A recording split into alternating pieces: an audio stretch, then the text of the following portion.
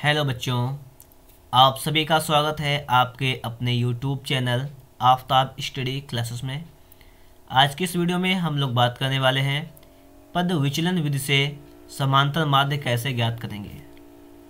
जिसमें आपको वर्गंताल दिया गया होगा, बारंबारता दी गई होगी और हमें पद विचलन विधि से समांतर माध्य निकालना होगा। इससे पहले हम लोगों ने प्रत्यक्ष विधि से समांतर माध्य, कल्पित विधि से समांतर माध्य सीख लिया है। और आज हम लोग सीखेंगे पद विचलन विधि से समांतर माध्य। इस टाइप के सवाल भी एग्ज़ाम में आते हैं और आपको देखने को मिलते भी हैं। और ये सवाल जो है आपका वर्ल्ड एग्ज़ाम 2023 के लिए बहुत ज़्यादा इंपॉर्टेंस रखता है। तो चलिए शुरू करते हैं यहाँ पर। ये आपको यहाँ पे वर्ग अंतराल दिया गया है, ये बारंबारता दी गई है। सिर्फ़ हमें इसकी ही ज़रूरत है और इससे हम पूरे सवाल को सॉल्व कर लेंगे। वर्ग अंतराल देख लीजिएगा एक बार 10 से 20 20 से 30 ये दिया गया है हमें, ठीक है? 80 तक है तो चलिए इसको लिखते हैं हम लोग यहाँ पर। पहले लेते हैं, क्या नाम है हमारा? इसका नाम है पद विचलन विधि।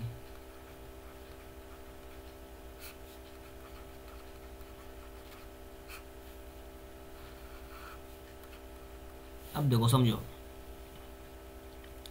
हमें यहाँ पे दिया गया है वर्ग अंतराल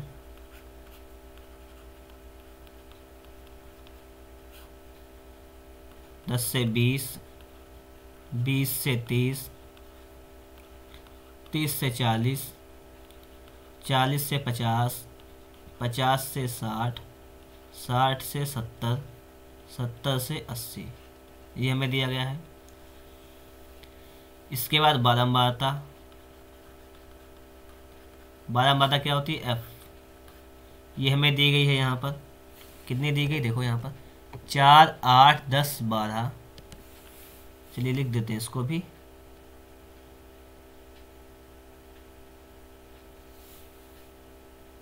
चार, आठ, दस, बारह, दस, चार, दो। मिला लो चार, आठ, दस, बारह, दस, चार, दो। बिल्कुल सही। ये लिख दिया। हमने दो चीज़ यहाँ पे लिख दी हैं। एक क्या लिखा है? वर्ग अंतराल एक लिखा है बारंबारता क्यों? क्योंकि हमें ये सिर्फ़ दो चीज़ें ही यहाँ पर दी गई थी। अब आगे समझो आप लोग। देखिए, सवाल हमें लगाना है, तरीका क्या है? सवाल लगाने तरीका है कि पद विचलन विधि से लगना चाहिए। सबसे पहले काम होता है समांतर माध्य के लिए मध्य मान निकालना। क्या करना? मध्य मान की वैल्यू निकालना। मध्य मान होता है आपका एक्स एक्स निकालेंगे। पहला काम हमारा ये रहेगा। एक्स कैसे निकालेंगे? जो भी वर्ग अंतराल होता है, उसमें क्या करते हैं कि जो निम्न सीमा होती है और उच्च सीमा, इन दोनों को जोड़ते हैं और उसका आधा करते हैं। जैसे दस और बीस, इसको जोड़ेंगे कितना हो जाएगा? तीस। तीस का आधा कितना होता है? पंद्रह। तो लिख देंगे पंद्रह। ठीक है, बीस और तीस कितना होता है? पचास। पचास का आधा? पच्चीस। ऐसे लिखना है। तीस और चालीस, सत्तर। सत्तर का आधा? पैंतीस। तो मध्यमा समझ के होंगे आप लोग? अब आगे देखो। सारे सब नहीं करते ऐसे। अब अंत देखो कितना आता है। पंद्रह, दस, पच्चीस। पच्चीस, दस, पैंतीस और पैंतीस के बाद क्या जाएगा आपका? पैंतालीस। पैंतालीस के बाद पचपन, फिर पैंसठ, उसके बाद पचहत्तर। इतना ही लिखना है। ये मध्यमान हो गया। ये पहला स्टेप वर्गंताल दूसरा बारंबारता फिर तीसरा मध्यमान। अब निकालना हमें यहाँ पे है डी क्या निकालना है? कल पे निकालेंगे डी बराबर। लिखेंगे डी बराबर एक्स माइनस ए पहले ये निकालेंगे। डी बराबर एक्स माइनस ए आप कहेंगे, देखो एक्स की तो ये लाइन दी गई है। और ए तो हमें पता नहीं है तो ए के लिए हम क्या करेंगे समझो। हम मान लेंगे यहाँ पर कि माना, समझना सही से, माना ए बराबर। ए कहाँ से मानोगे? ए जो है आपको एक्स दिया गया है। जो भी आपको एक्स दिया गया, इस एक्स में पूरी लाइन में से आप किसी को भी ए मान सकते हैं। पहली बात ये समझिए। पूरी लाइन में से आप किसी को भी ए मान सकते हैं, अगर हम यहाँ पर पंद्रह को मान लें।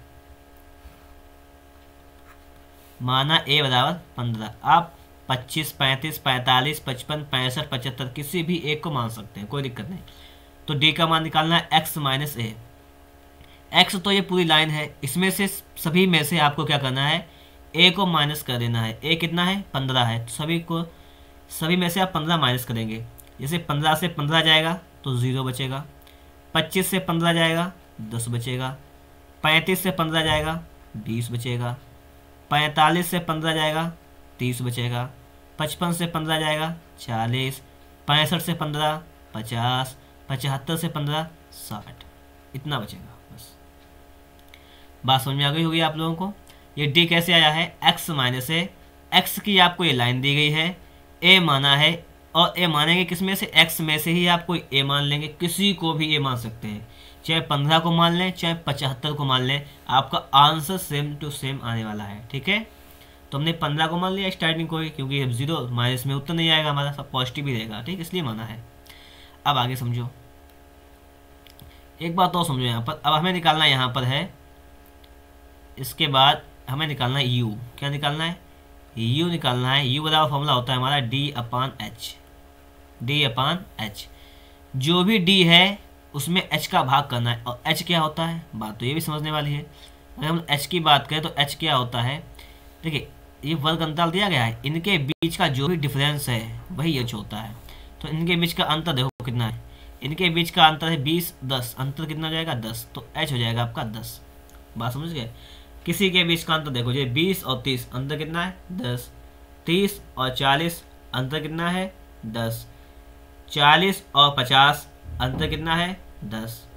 पचास और साठ अंतर कितना है? दस। तो ये होता है एच बात समझ आ गई होगी? हमें निकालना है यू बराबर होता है डी अपान एच मतलब जो भी डी की वैल्यू आई है, इसमें सभी में क्या करेंगे?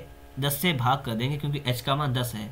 जब आप ज़ीरो में दस से भाग करेंगे, जैसे सपोज़ डेट इसको हटा देंगे, अभी ज़ीरो में जो दस से भाग किया, कितना जाएगा ज़ीरो तो हम लिख देंगे यहाँ पे ज़ीरो फिर अगला है दस। जब आप दस में, सभी में दस से भाग करना है, दस से भाग करेंगे कितना आएगा? एक तो यहाँ पे लिख देंगे एक। फिर आप बीस में दस से भाग करेंगे, सभी में दस से भाग करना है, दस से भाग करेंगे तो दो आ जाएगा। तीस में दो, दस से भाग करेंगे, तीन आ जाएगा। चालीस में दस से भाग, चार। पचास में दस से भाग, पाँच। और साठ में दस से भाग, छः। ये इतना आ जाएगा। क्लियर? चलिए इसको इरेज कर देते हैं थोड़ा सा।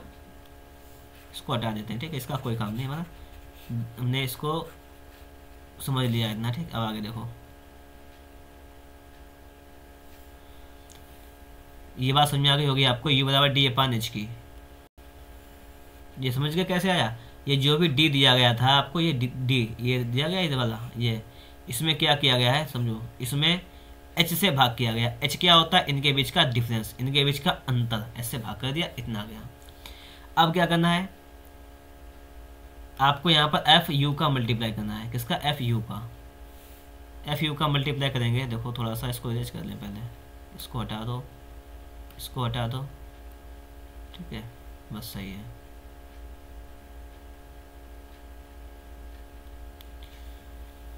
एफ़ यू का मल्टीप्लाई कर दो, चलो। एफ़ ये दिया गया यहाँ पर और यू यहाँ पर। अब देखो, आपको ये बीच वाले नहीं लेने हैं। थोड़ा सा इन पर निशान लगा देते हैं ताकि आपको ये ये मत लेना। ये वाले, ये आपको ये नहीं लेने हैं। ये सिर्फ़ टिक लगाया है हमने ताकि आप इसका गुणा ना कर लें। ये है, करना नहीं, आपको कुछ है। ठीक है? इसको हटा देंगे अभी। अब देखो, गुणा करो, चलो इसका। एफ़ कितना आपका है? चार। और यू कितना है? ज़ीरो। चार में ज़ीरो का ज़ीरो में किसी का भी मल्टीप्लाई करो, ज़ीरो ही रहता है तो ज़ीरो रहेगा। फिर आठ का करना एक में। आठ एक, आठ। दस का करेंगे, दो में दस दूनी, बीस। बारह का करेंगे, तीन में बारह, तीन छत्तीस। दस का करेंगे, चार में दस चौक चालीस। चार का करेंगे, पाँच में चार पंचे बीस। दो का करेंगे छः में हो जाएगा आपका बारह। ठीक है, बस इतना समझ गया आप लोग, गुणा कर लिया, अब इसको हटा देते हैं, अपना जो टिक लगाया था हमने। चलिए, इसको हटा दें और इसको हटा दें। ये आपको लगाना नहीं, टिक। ये बात यहाँ तक क्लियर हो गई। अब देखो क्या करना है आपको, अब बारह बारह का योग निकालना है, सिग्मा एफ़ का मान। देखो, चार, आठ, बारह, दस, बाईस, तेईस, चौबीस, दस, चौंतीस, दस, चवालीस, चार, अड़तालीस, दो, पचास। ये हो तो हुआ पचास। इसका जरा योग निकालो। चार आठ और छः चौदह और दो सोलह का छः। हाँ से लगा आपका एक। एक, दो, तीन तीन, छः, चार, दस, तीन, तेरह। एक सौ छत्तीस हुआ जाके इसका योग। Sigma F U. Sigma F U का मान निकाल लिया। ठीक है।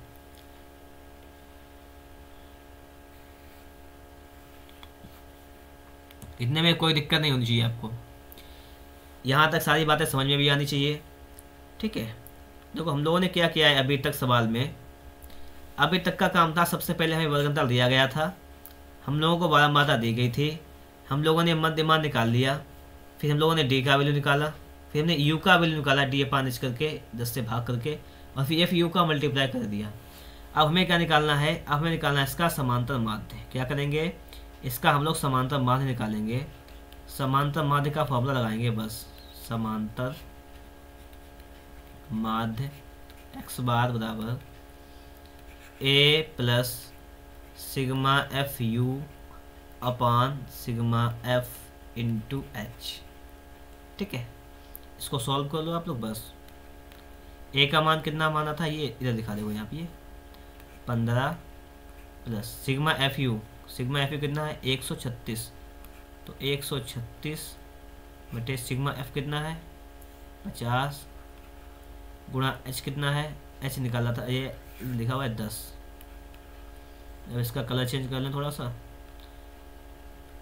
अब देखो ज़ीरो से आपका ये ज़ीरो कैंसर क्लियर बात? अब पाँच से इसको काटना है तो पाँच से इसको काटेगा तो पाँच से काटेंगे तो पाँच दूनी दस, तीन बचा, छत्तीस हो गया, पाँच सत्य पैंतीस, एक बचा, लगाया पॉइंट ज़ीरो दस हो गया, पाँच दूनी दस, सत्ताईस पॉइंट दो ये आ गया। अब देखो यहाँ पर। ये पंद्रह इधर दिया गया है, प्लस का सत्ताईस पॉइंट दो आपका इधर आ गया। और पंद्रह सत्ताईस आपका हो जाएगा बयालीस तो हो जाएगा बयालीस पॉइंट दो।